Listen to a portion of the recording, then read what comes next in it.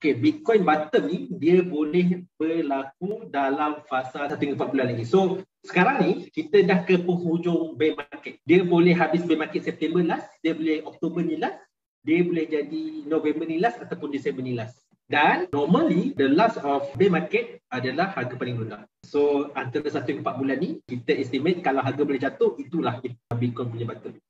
Dan kalau saya buka pattern Elliott Wave pun dia perlukan satu lagi penurunan yang terakhir. Bitcoin yang end. Bitcoin jatuh je, pecah 18k, pecah support tu, okay, itu adalah the last drop in the, the market.